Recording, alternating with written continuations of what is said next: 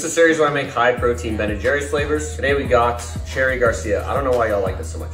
Start off with 200 grams of Fairlife 2% milk, then 200 grams of almond milk, followed by 5 grams of sugar-free vanilla jello pudding and 1 gram of xanthan gum. Add in a dash of salt for flavor enhancement, then 15 to 30 grams of sweetener depending on how sweet you like things. 16 grams of PEScience vanilla. This will really help it give it that creamy ice cream texture. The link is in my bio.